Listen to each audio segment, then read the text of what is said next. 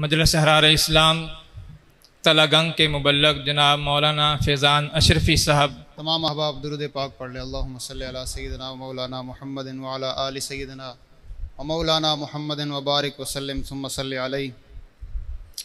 वक्त के इख्तिसार को मद्देनज़र रखते हुए दो चार अशार ख़त्म नबूत के हवाले से आप हजरात की समातों की नज़र करूँगा। उम्मीद है समझ आए तो सुबहान अल्लाह कहेंगे।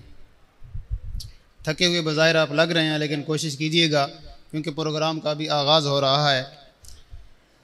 मेरे अल्लाह की रहमत अता ख़त में नबूवत है। मेरे अल्लाह की रहमत अता ख़त में नबूवत है। ग़ुलामान मोहम्मद की सदाखत में नबूवत है। ग़ुलामान मोहम्मद की सदाखत में नबूवत है। और सुनो है मस अला ये ए वफादारो हयादारो के मज़हब दीनो ईमा की बकाखत में नबूवत है कि मज़हब दीनो ईमा की बकाखत में नबूवत है। मेरे अल्लाह की रहमत अताखत में नबूवत है। आका के बाद कोई नबी कभी नहीं, कहीं नहीं। आका के बाद कोई नबी कभी नहीं, कहीं नहीं। इसी जज्बे के साथ हम ये ऐलान कर रहे हैं कि हम ख़त में नबूवत पे जी जान लुटा देंगे। हम ख़त में नबूवत पे जी जान लुटा देंगे। उठा जो कोई फितना हम राख बना देंगे।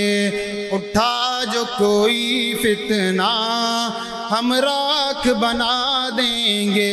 और एक वादा अपने आका से कि ए गुंबद खजरा की जन्नत के मकी आका, ए गुंबद खजरा की जन्नत के मकी आका, हम आपके दुश्मन को ज़िंदा दफना देंगे।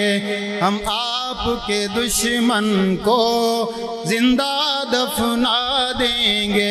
हम ख़त में नबूवत पे जी जान लुटा देंगे। और हम ख़त में नबूवत का उन्वान समझते हैं। सिद्दीक के दुश्मन को क्यों दिल में जगा देंगे? सिद्दीक के दुश्मन को क्यों दिल में जगा देंगे?